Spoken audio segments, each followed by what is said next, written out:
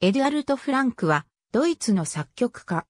フランクは、プロイセンのシレジアの首都、ブローツワフに生まれた。彼は裕福で教養の高い銀行家の4番目の子供として生まれた。兄のヘルマンは作家となる人物である。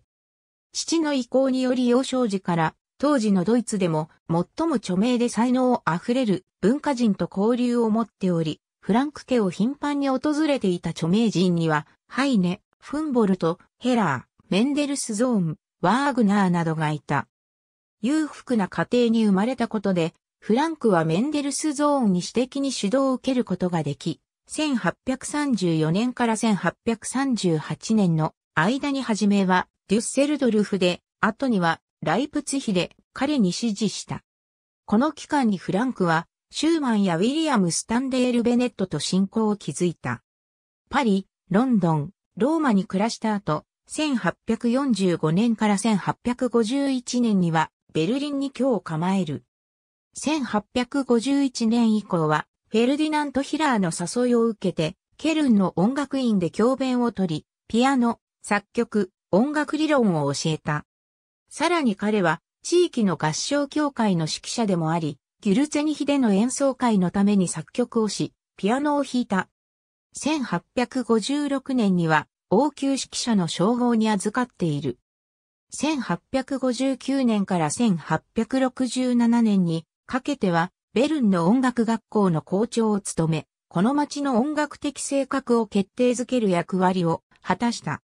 1867年からはシュテルン音楽院の教員として1878年からは、ベルリンのエミール・ブレスラウアーの講座で教鞭を取った。1875年には教授の称号を得ている。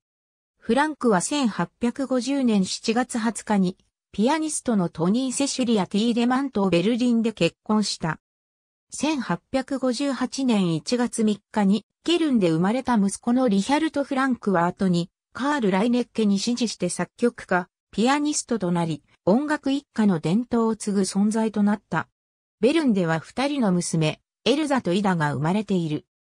フランクは教育者、演奏者として高い評価を得ながらも、同年代のメンデルスゾーン、シューマン、リストほどに広く、一般に知られることはなかった。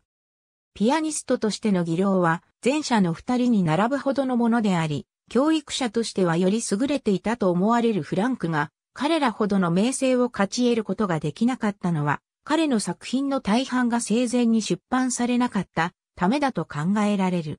完璧主義者であったとされる彼は、自らの求める水準に達するまで自作を磨き上げており、このため常に作品の発表が遅れがちであった。フランクが初期に出版したわずかな作品に関して、シューマンは高く評価していた。フランクは初期作品において、第一にメンデルスゾーンを模範としている。1855年から1861年にケルンで書かれたバイオリン競争曲第一番補単調オーパス30が恒例である。この曲にはフェルディナンド・ダビッドが技術的な助言を行い、またマックス・ブルッフが影響を受けていると考えられる。後年の作品では彼のオリジナリティが発揮され、独自の語法を確立している。彼は古典派とロマン派の中間に位置し、その結果として明快な構成感と洗練された表現に特徴づけられる作品を生み出した。多くの巨匠らの傑作が生み出された時期の中間を生き、今日では狭間の世代であるとみなされることもある。重要な作品は2つの公共曲、バイオリン競争曲、第2番に蝶々をパス。57、弦楽四重奏曲、弦楽六重奏曲と驚くほど現代的な外観を持つバイオリンソナタとピアノ曲などである。20世紀の室内楽評論家の重鎮の一人で、アエル・ビルヘルム・アルトマンは、フランクの室内楽曲についてこう記している。この優れた作曲家は、これまでのように無視されていていいような存在ではない。彼の作品を聴けば、その良質の魅力的な発想を知ることができるが、それらに、確固たる形式感と生き生きとした想像力が反映されていることは明白である。また、アルトマンは、フランクの60奏曲、第2番について、こう書いている。この60奏曲は、コンサートホールで演奏されるべき曲だ。作曲者が音楽形式を熟知していたこと、そして力強く高貴な旋律を生み出す才能に恵まれた達人であったことがよくわかる。